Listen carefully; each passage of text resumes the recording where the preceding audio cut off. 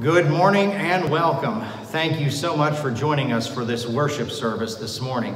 If you would like a bulletin for this service, we're going to invite you to go to our website, www.enolacog.com, and click on the button there so that you can download the bulletin into your device or print it out for your use throughout this service. If you take a look at that bulletin now, you may take notice that today we are recognizing Compassion Sunday. We're going to talk about more about that a little bit later on in the service, but for now, let's talk about some of the announcements and things that are happening in the life of the church. So if you have that bulletin, we invite you to look on the last page at the uh, Sonshine Weekly this week in Enola. Today, we do have our children's lessons online. They're on Facebook at 9 and 9.30 a.m. If you're watching after that particular time, they should be on Sonshine TV. Those are for preschool and elementary students. On Facebook, they uh, premiere at 9 and 9.30 a.m. respectively for preschool and for elementary students. Tell folks that may be coming to the sanctuary service today at 10.45 a.m. that they're welcome to join us in the sanctuary. If they're not comfortable coming into the sanctuary, we have designated places that they can go to and sit and listen to the service, or they can stay outside and stay in their cars or find a place in the property uh, to listen to the service on 89.9 FM on the radio. And let folks know that we have resumed kids worship and nursery during the 1045 a.m. service, and we're so grateful for that. Tonight at 7 p.m., we have a prayer service. Tuesday at 10 a.m., ladies' Bible study is, is resuming in the fellowship hall. Ladies, come on out and be a part of that. Three teams are meeting Tuesday evening builders, navigators, and connectors. Builders at 6, Navigators at 6, and Connectors at 7 p.m.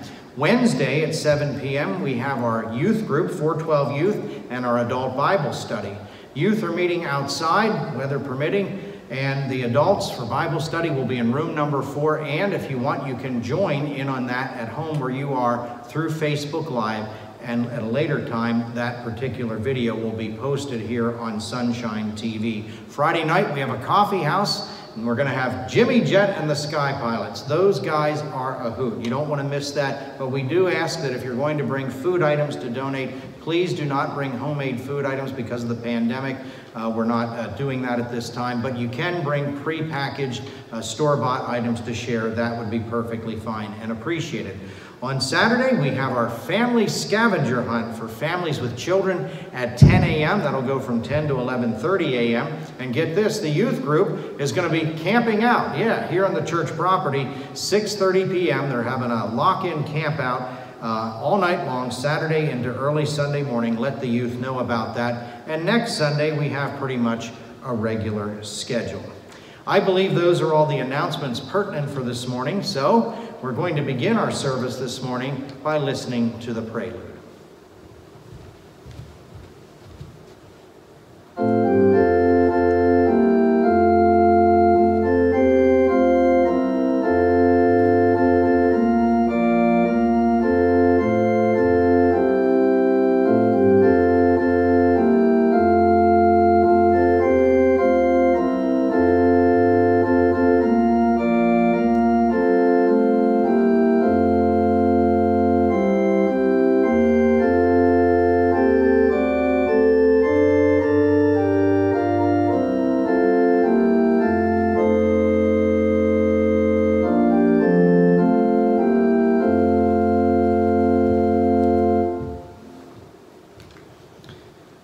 This morning's call to worship is taken from Psalm 97, verses 1 through 2.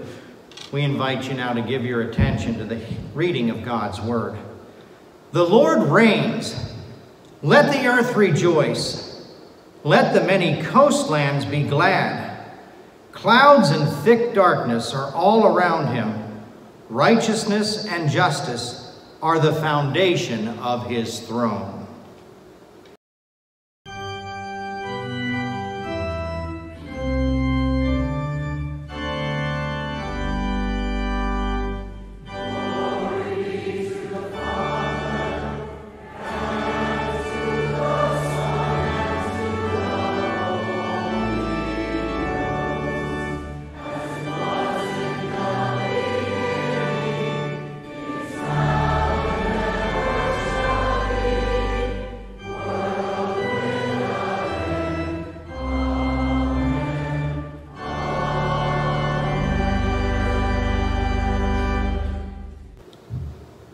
Will you pray with me? Heavenly Father, we give you thanks today that you are the God who reigns Father, we pray today that you would reign in our hearts as we worship you today in spirit and in truth. Help us to put aside those thoughts, those concerns, those anxious thoughts that weigh us down so that we can totally and freely focus on you. May this service be for you and unto you. And we pray it all in Jesus' name. Amen. Will you join me now in singing, Stand Up and Bless the Lord?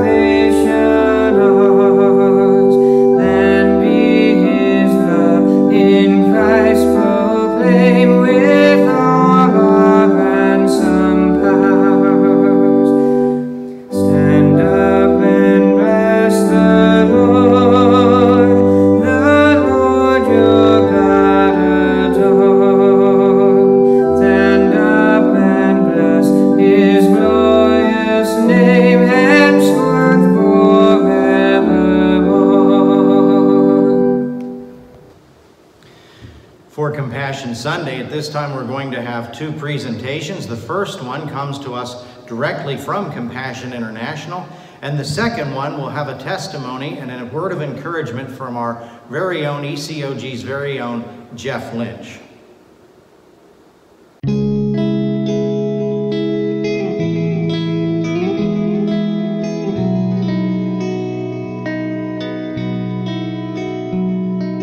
I'm Candace Cameron Bure, and I am in Santiago in the Dominican Republic. I'm on my very first trip with Compassion, and we're visiting a few of the projects um, that have the CSP, this Child Survival Program. I've known about Compassion, obviously, for a long time, but I've never experienced what Compassion does for myself. We are very passionate about this organization. Uh, we found out through our church in Fort Lauderdale and we fell in love with the organization and what they do. I knew some level of the expectation of poverty, but I, I had no idea what compassion really does. It's a necessity for all these moms because, because they really don't have the knowledge of how to care for themselves, how to care for their baby. They're getting one on one attention from another woman that has the experience that just wants to love on them and give them the support that they need to say everything's going to be good. You can get you can get through this to pray with them and what their needs are, but really give them an emotional comfort. The thing that's impacted me the most on this trip is the first home visit that we went to. We met a girl that has a four kids, and I, uh, I'm assuming they were all under four or five years old, and she lost two of them they opened up the Bible to start in prayer. And God's word just melted my heart in there. And all I could think about at, the, at that moment is that I go out and I share the gospel with thousands of people when I speak and I share my testimony. And yet I stood in her home And I thought to myself, this is the gospel.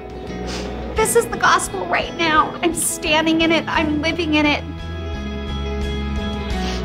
This is what compassion is all about helping kids, helping people, biblically explaining to them that God loves them. So for us, it couldn't be any better organization that represents what we love and what our family stands for. I'm going home with a completely new enthusiasm and perspective. And I just felt so privileged that God has given me the opportunity to do that and experience that with my family. And it's just an amazing organization, but it's, you know, a mighty God that we serve. And truly, it's God softening our hearts and exposing us to different ways of life and, and the needs of the world. And, um, you know, it just, it just humbles me to the core.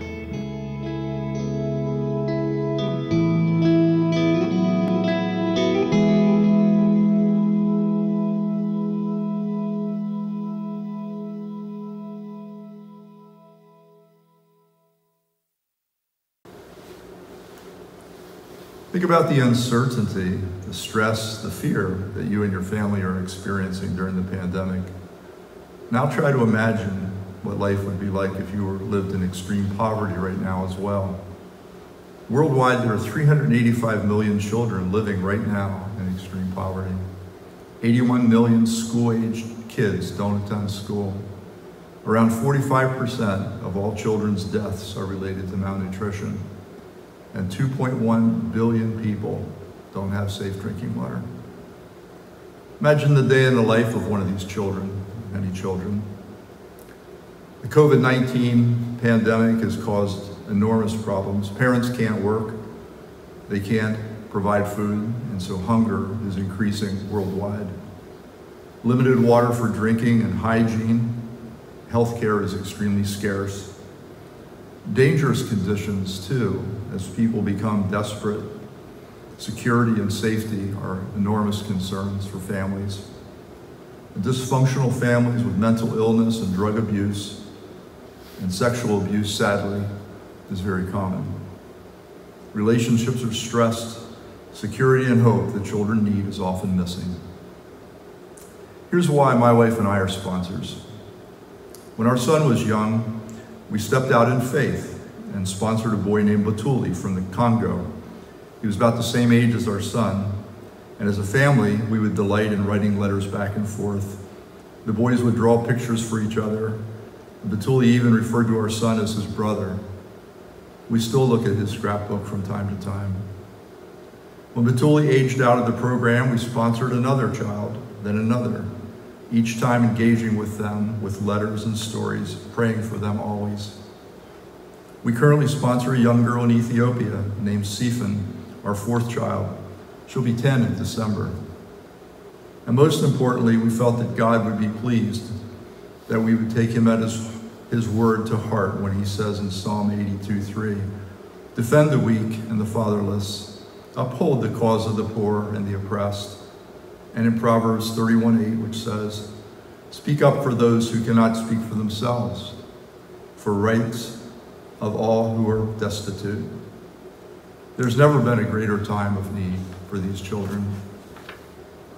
Here's how you can help. First, pray for these children and for their families and for their countries. Pray for them. Next, if you visit the living room, Jeff and Bowden will have a number of children to sponsor right away.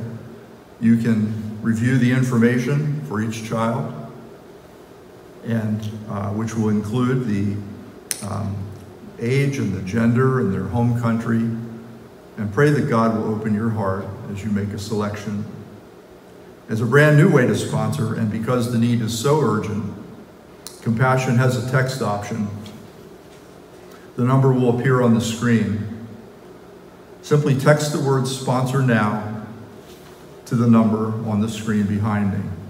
And once you send the text, one child will be sent to you immediately. This child is only being sent to you. Follow the link that's being sent and all the necessary information for sponsorship and payment information. Submit your sponsorship information and receive the confirmation page or email. If you do not sponsor, a, or if you do not sponsor, a follow-up text reminder is sent in 24 hours. And finally, if you're just not sure you're ready to sponsor a child, flyers will also be available out in the living room, which will direct you to more information. The need has never been so great. For a mere $38 per month, you can change a child's life with your sponsorship, with your love, and with your prayers. Please consider sponsoring today. Thank you. Thank you, Jeff, for those encouraging words to us, to encourage us to consider Compassion International. And remember, those of you, because of course you're watching this at home, you can't go look at a sponsor child in the living room lobby or anywhere else today, but you are welcome to text to that number that you see behind me. You feel free to do that if God is so leading you.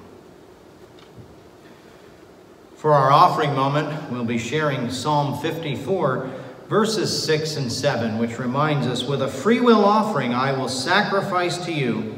I will give thanks to your name, O Lord, for it is good. For he has delivered me from every trouble, and my eye has looked in triumph on my enemies. We want to thank those of you that continue to be faithful to mail your tithes and offerings to the church or set up your bill payment uh, option to do that, or some of you come by and drop them in the offering boxes. Uh, thank you for continuing to worship God through the giving of tithes and offerings. And thank you for your acts of generosity in various ways that you've served to be Jesus' hands and his, his voice and his feet in his world, offering a cup of cold water in his name. And we want to thank those of you that do things like sponsoring children through Compassion International and other ways uh, to bless uh, the least of these in Jesus' name. Let's keep up those acts of generosity and worshiping God by giving him his tithes and offerings that he deserves. Will you now join me in a word of prayer over our offering and our acts of generosity? God, we thank you that you are a compassionate and generous God towards us. We would pray now that you would help us to be likewise uh, to those that Jesus has told us to be compassionate towards, to bless, and to offer a cup of cold water in his name. And Lord, we worship you too with those tithes and offerings that you surely do deserve. We pray that you would accept them and multiply them in ways that people will be reached with the gospel message and more souls added to the kingdom of God. And we ask these blessings in Jesus' name. Amen. Will you join me now in singing, Break Thou the Bread of Life?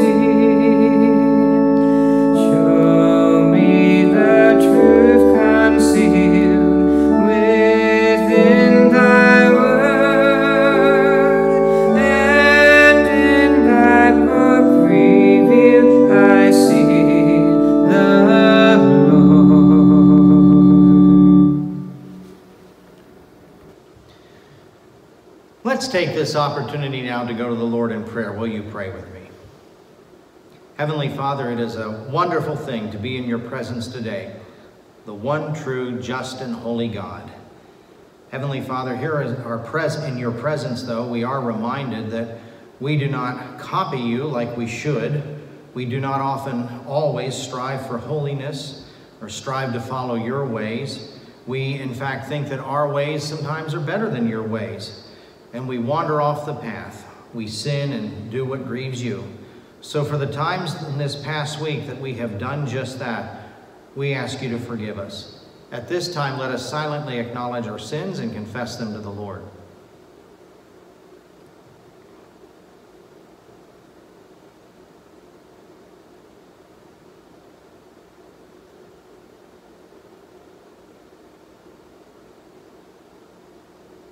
God, we thank you for your forgiveness. And we claim those words of assurance of pardon from your word, that though our sins be as scarlet, you wash them whiter than snow.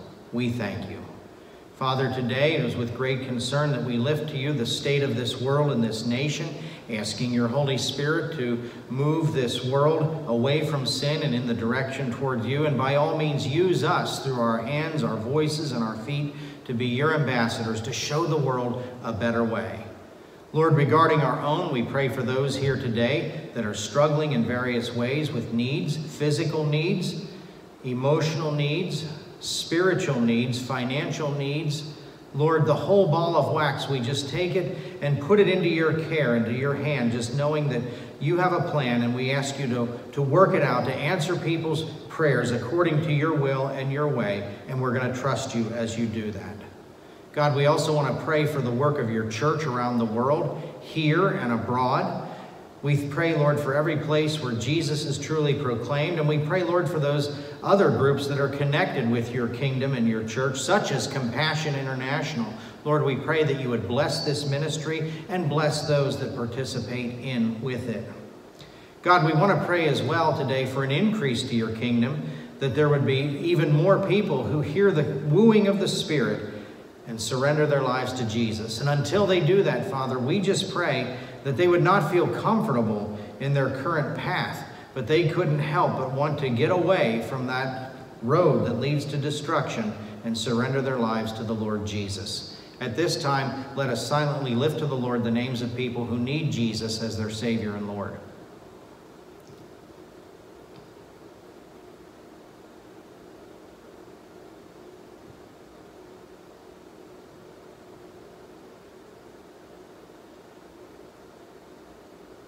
Thank you, Father, for speaking to these individuals through your Holy Spirit. We can't wait to see a harvest.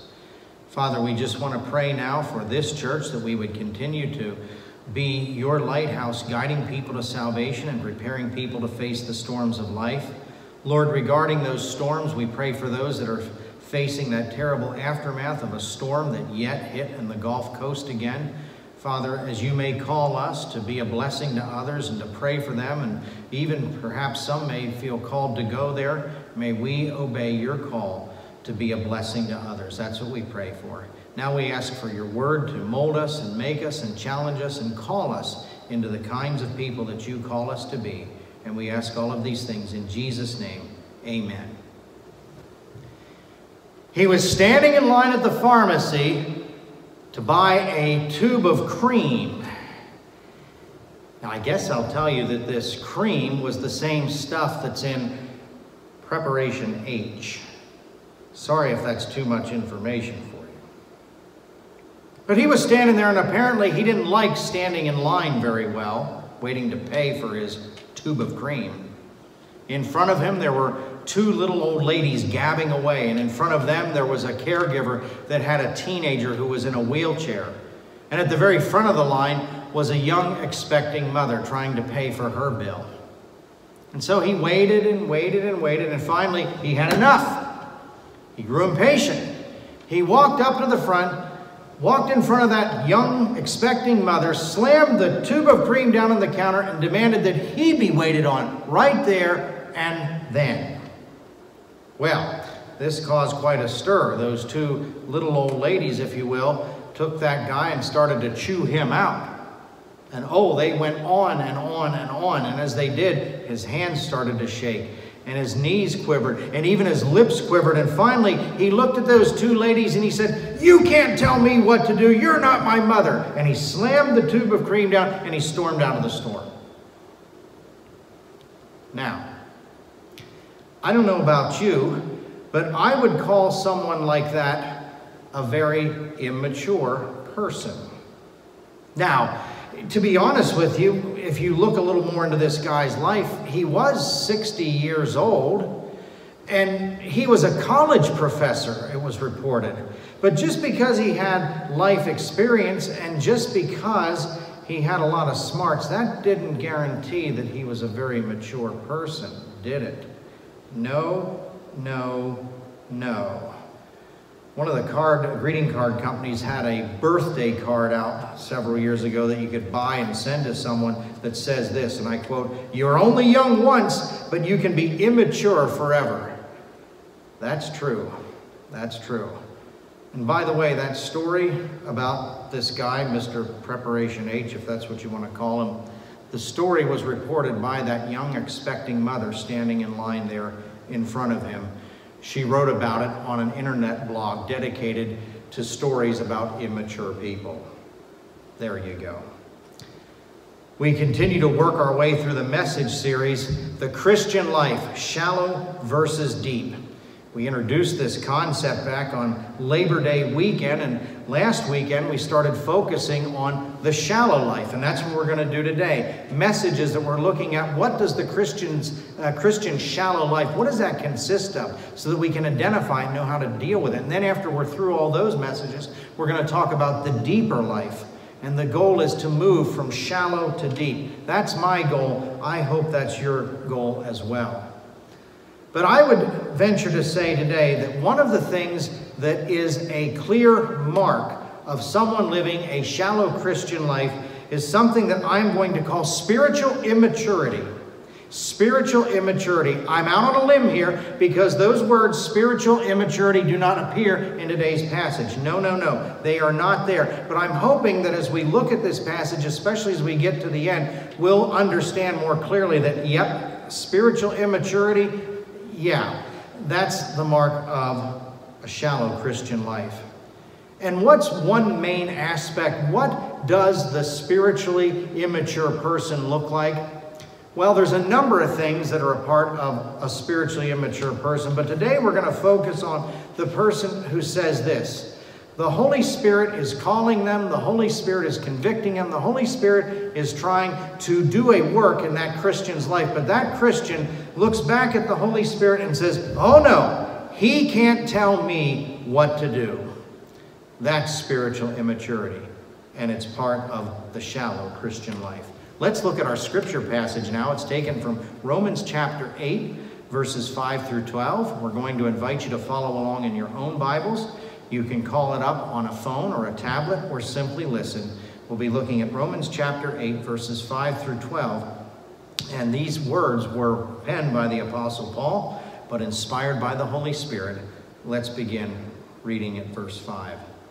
Paul says, For those who live according to the flesh set their minds on the things of the flesh. But those who live according to the Spirit set their minds on the things of the Spirit. For to set the mind on the flesh is death, but to set the mind on the Spirit is life and peace. For the mind that is set on the flesh is hostile towards God, for it does not submit to God's law. Indeed, it cannot. Those who are in the flesh cannot please God.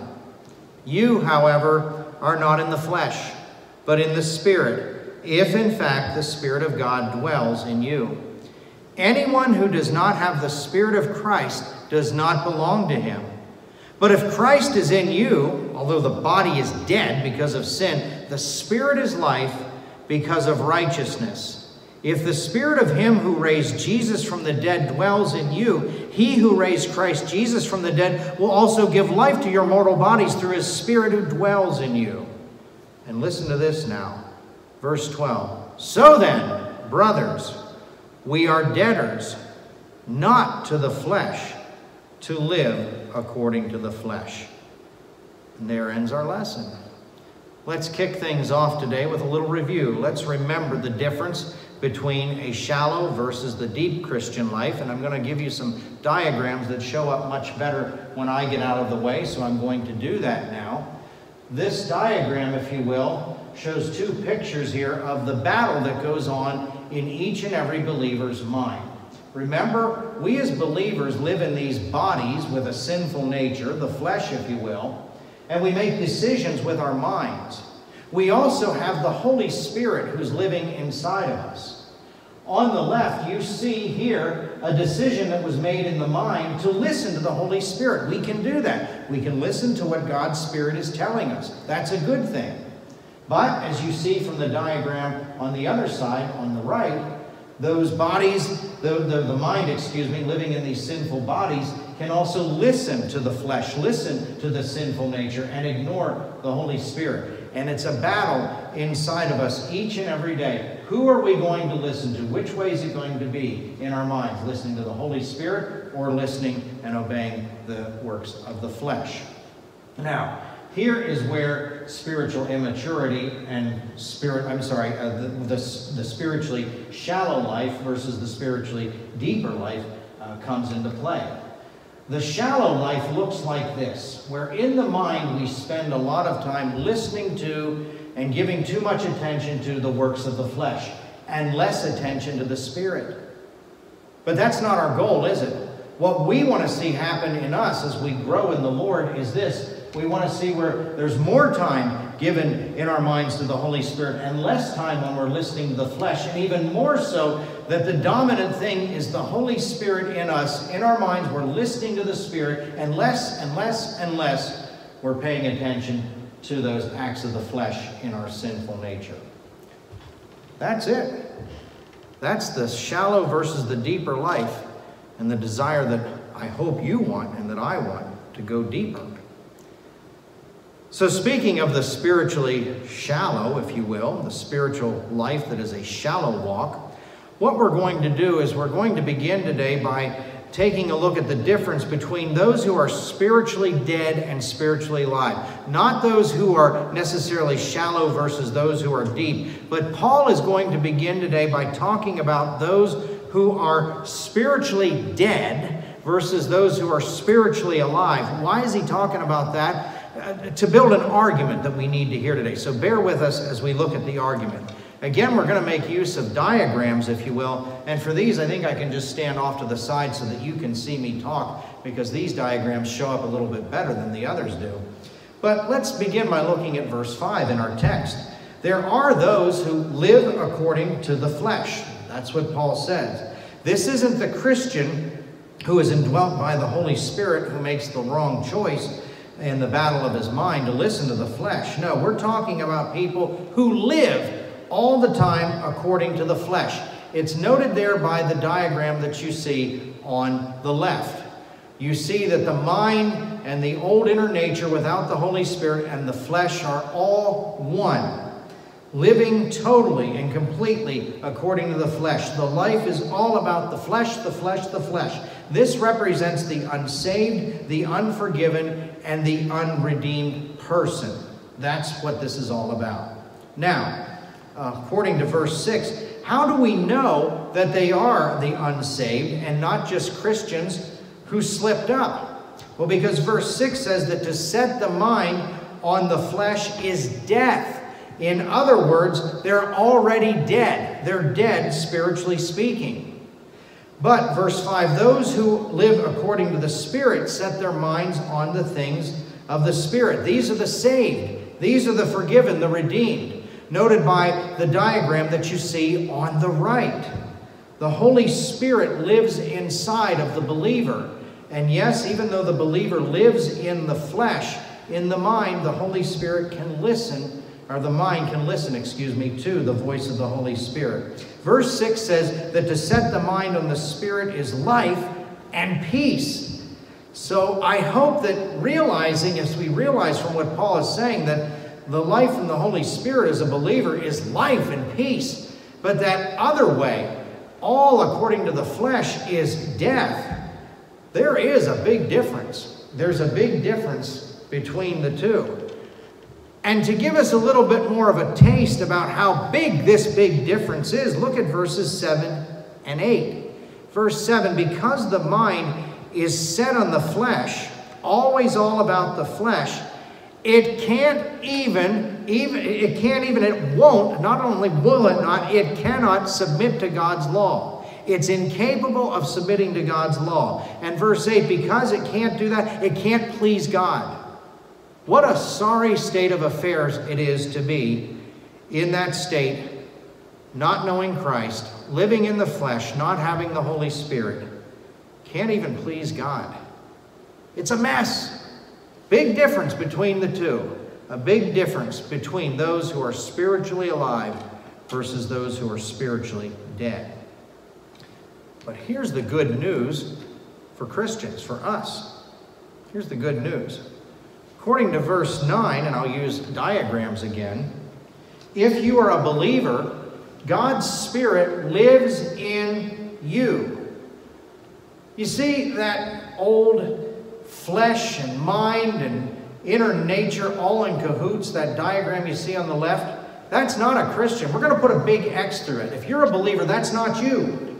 That's not you. If you're a believer, God's Spirit lives in you. You represent that diagram on the right, or that diagram rather represents you.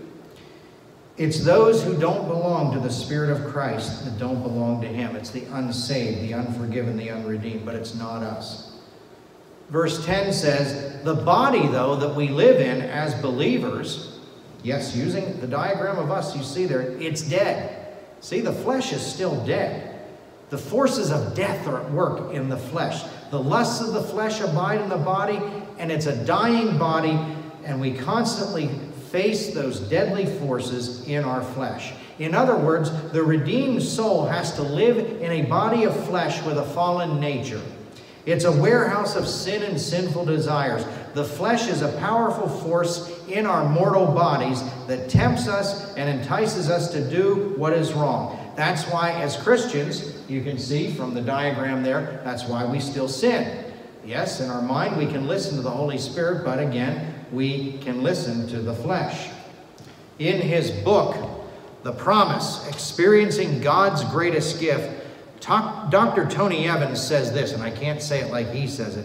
He says, The Holy Spirit is like the structure of a house that has been eaten up by termites. You can paint the inside, put down new carpet, and buy new furniture, but you have not fixed the structural problem. The flesh is like a bad in law. You can't get rid of it, it just keeps hanging around. Yep. Our sinful bodies are centers of sinful desires, emotional depression, and spiritual doubts. But back to verse 10 the Spirit is alive. That's the good news because of righteousness. The Holy Spirit of God lives in us, therefore, our spirits are alive. Yes, the flesh is like that broken down old house that you can't fix up with a coat of paint and all those kinds of things that Dr. Evans mentioned. But the Holy Spirit has been credited to us and is living inside of us. And if you can't appreciate that and don't realize how powerful it is, look at verse 11. Paul reminds us that same Spirit who lives in us is the same Spirit that rose Jesus from the dead. Have you heard Jeremy Camp's song, Same Power? The same power that rose Jesus from the grave lives in us. I don't think Jeremy spouted that off from the top of his head. It's right here in Scripture. And because that same Holy Spirit that raised Jesus from the dead is in us, our mortal bodies are going to be raised into a new likeness at his resurrection, in the likeness of his resurrection, excuse me, just like he was in his resurrection. That's going to happen someday. 1 Corinthians chapter 15, verses 51 to 55 make this clear. Paul, writing this passage as well, says, Behold, I tell you a mystery. We shall not all sleep, but we shall all change, be changed in the moment, in the twinkling of an eye, at the last trumpet. For the trumpet will sound, and the dead will be raised imperishable, and we shall be changed. For this perishable body must put on the imperishable, and this mortal body must put on immortality. When the perishable puts on the imperishable, and the mortal puts on immortality, Then shall come to pass the saying that is written Death is swallowed up in victory. O death, where is your victory? O death, where is your sting? That's why it's a big deal that the same Spirit that raised Jesus from the dead lives in us. It's not about death. It's not about those holy, the, the, the, thing where the, the Holy Spirit is absent and therefore the mind and the inner nature and the flesh, they're all in cahoots, just in a, in a, in a death sentence, if you will. But rather, it's the same Spirit living in us that raised Jesus from the dead, making it possible that someday, yeah, we're going to have new bodies and we're going to live eternally as well. That's the Spirit that's living in us. It's incredible. Now, having said that, having said that, and there's the passage, by the way, 1 Corinthians 15, 51 to 55, if you want to look it up. Having said that, keep this in mind. Because of God's blessings and all that is at stake, believers have an obligation to the Spirit. The obligation is not to the flesh. Therefore, by implication, he says that we are not debtors to the flesh, but to the Spirit. The actual word used, I believe, is debtor. It means actually a financial debt, a debt, an obligation of a financial nature, meaning that we owe it not to the flesh, but we owe it to follow the Holy Spirit. That's what we owe as believers. Not to the flesh, we owe the Spirit our attention. We owe it to the Spirit to obey the Spirit's call. And in fact, this is what I would say today, and I'm out on a limb, but I believe it's true. To forget, ignore, or dislike this obligation is an example of spiritual immaturity. Spiritual immaturity. Now, why am I out on a limb? Well, other pieces of Scripture look at spiritual immaturity maybe in a different way. In 1 Corinthians 3, Paul mentions those immature, those infants of the faith who are carnal or fleshly Christians, if you will, people of the flesh. They still need milk. Um, they're not ready for the solid meat of the Word of God. And the writer of Hebrews echoes this in Hebrews 5 as well. Paul also, also talks in Ephesians 4, 4.14 about infants who are spiritually immature and are tossed about by various winds of doctrine, not knowing exactly what to believe. So, knowing that's the case, why would I then set out on a limb and say that those Christians who aren't serious about their obligation to follow the Spirit are immature? Well, let's take the Old Testament prophet Jonah. He's recognized as an Old Testament follower of God who was very immature in his spirit. He doesn't want to go preach at a place called Nineveh. Oh, if he eventually does after be, being swallowed up by a big fish and learning a very tough lesson, then he finally goes and he listens and he starts to preach. But then as the people there at Nineveh are convicted and are, are listening and, and starting to turn towards God, he doesn't like it. He doesn't want God to be compassionate towards the Ninevites, so he's mad again. That great prince of preachers, C.H. Spurgeon, wrote about Jonah's immature spirit when he said, Jonah is like a little child going back to kindergarten. This childlike spirit of Jonah had to go to kindergarten because he needed to be taught by object lessons.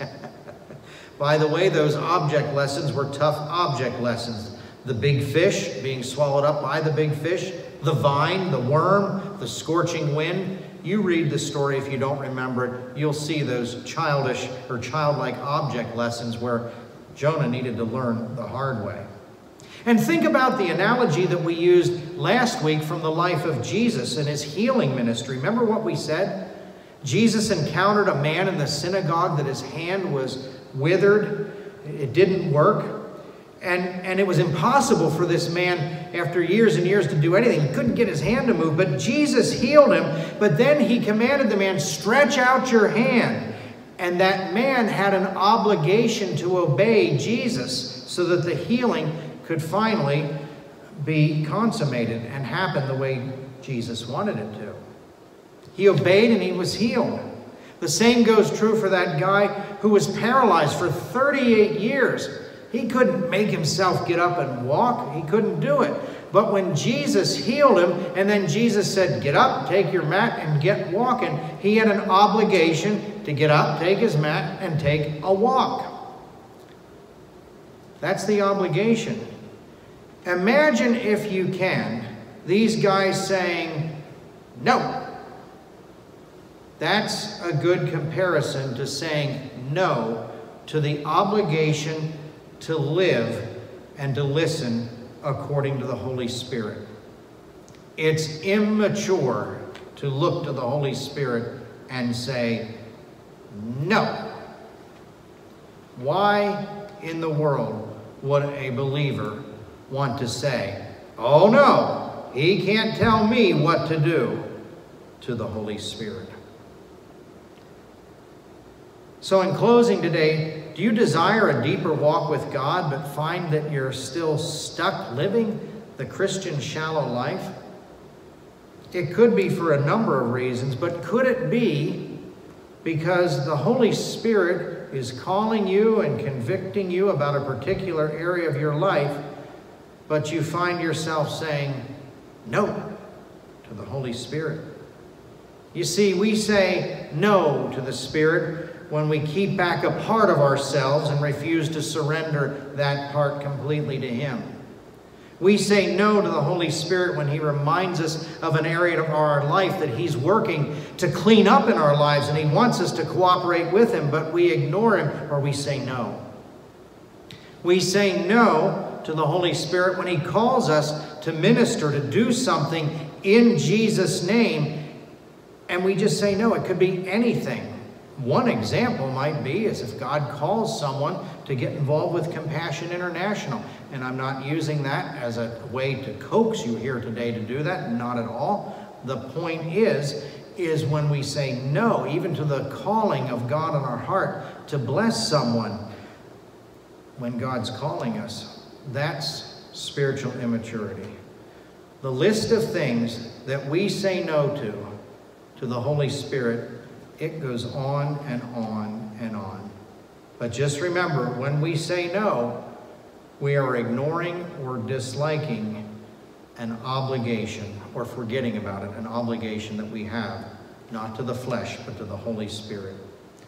In lieu of all that the Spirit has blessed us with, and in lieu of how much trouble we can get ourselves into with the flesh that's opposed to the Holy Spirit, and knowing how much better it is to walk in the Spirit and how horrible it is to walk in the flesh, why in the world would we not want to fulfill our obligation to the Spirit? To forget, ignore, dislike, any of that. Our obligation to the Holy Spirit is a kind of spiritual immaturity that keeps our walk with God shallow. But hopefully, you and I, we don't want a shallow life. We want a deeper life. That being so, let's keep in step with the Holy Spirit by freely carrying out our obligation to yield to Him. And let's keep in mind, it's never, ever, ever a good time to act like a spiritually immature person and say to the Holy Spirit, Oh no, He can't tell me what to do.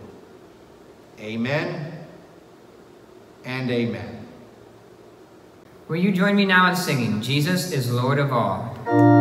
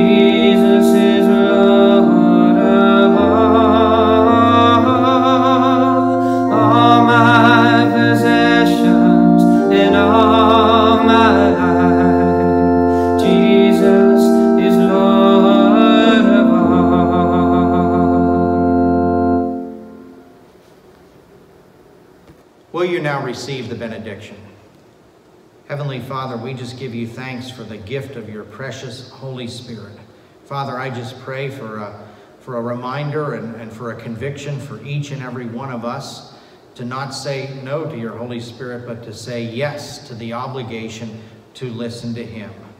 Father, thank you for delivering us from that state of affairs, that, that life of living totally and completely in the flesh. And thank you for the gift of your Holy Spirit. Help us to listen to him. Grant us, Heavenly Father, a deeper walk with you. And we ask all of these blessings in Jesus' name, amen. Thank you so much for joining us today for this worship service for Compassion Sunday. Keep in mind one more time, uh, if you haven't seen the number yet, you can text to the number there if you would like to get involved by sponsoring a child through Compassion. This concludes our morning worship service. Be blessed.